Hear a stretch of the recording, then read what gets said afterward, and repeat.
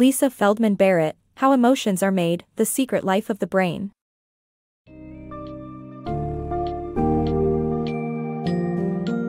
Dive into the fascinating world of emotions with Lisa Feldman Barrett's book, How Emotions Are Made, The Secret Life of the Brain. This summary challenges the classical view of emotions as reflexes, hardwired and universal. Instead, it unravels the complex and constantly changing nature of emotions, guided by the theory of constructed emotion. Discover how the brain creates emotions spontaneously in various areas, and how factors such as interoception, affects, and cultural influences shape our emotional reality. Prepare to question everything you know about emotions and embark on an enlightening journey into the human mind.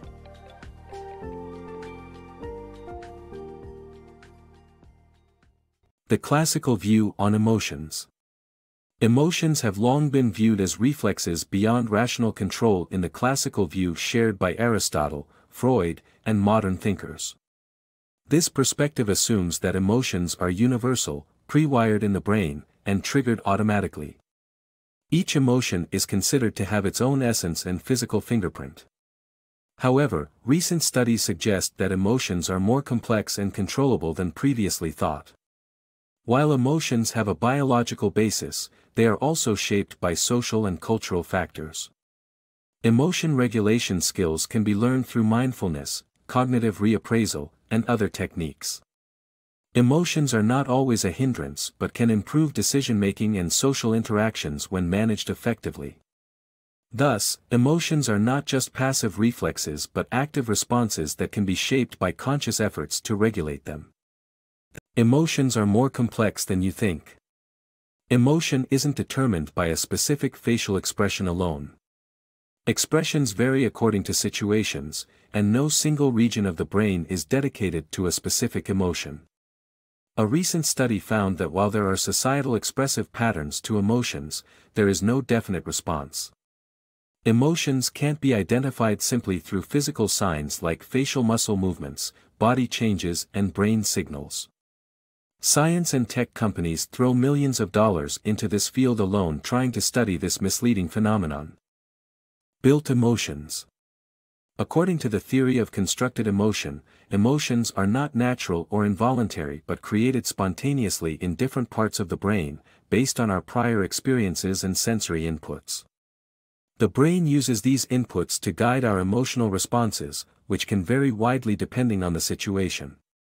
The author likens this theory to Charles Darwin's concept of species, just as species are populations of individuals that vary subtly depending on their environment, our emotions are also constructed by us as architects of our own experiences. The theory of constructed emotion challenges the classical view of emotions as innate and fixed, instead positioning them as diverse and fluid. The science behind interoception. Interoception is an autopilot system that allows the brain to manage internal sensations and create emotions without conscious effort.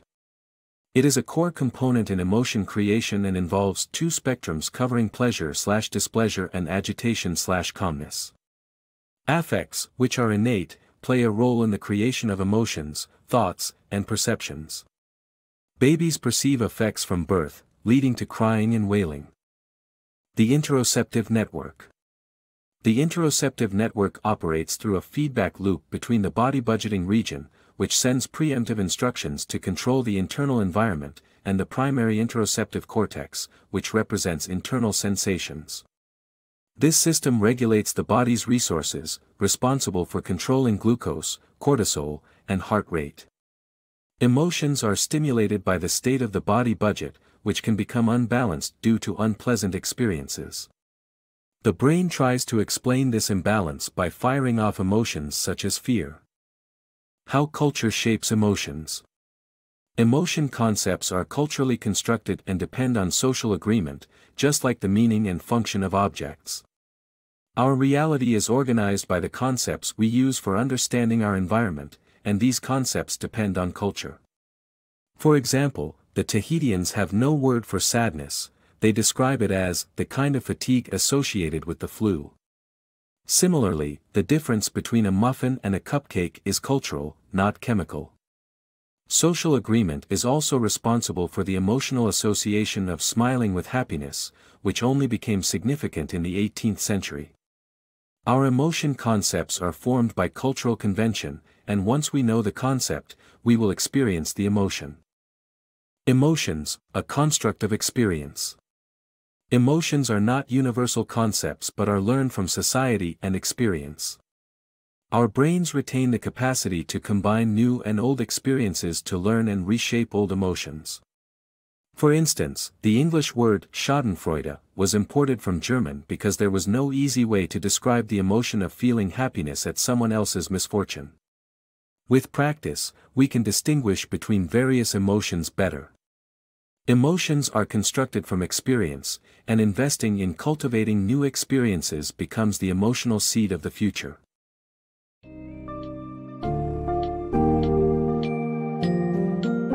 In summary, How Emotions Are Made, The Secret Life of the Brain, by Lisa Feldman Barrett offers a groundbreaking perspective on emotions, defying the classical view. The theory of constructed emotion, backed by experiments and cultural examples, shows that emotions are not innate or fixed but rather spontaneously created based on experiences and sensory inputs. Interoception, affects, and cultural influences all contribute to our emotions, paving the way for a more nuanced understanding of our emotional life. By exploring these concepts, we can gain a greater appreciation of our emotional diversity and the role emotions play in shaping our experiences and interactions.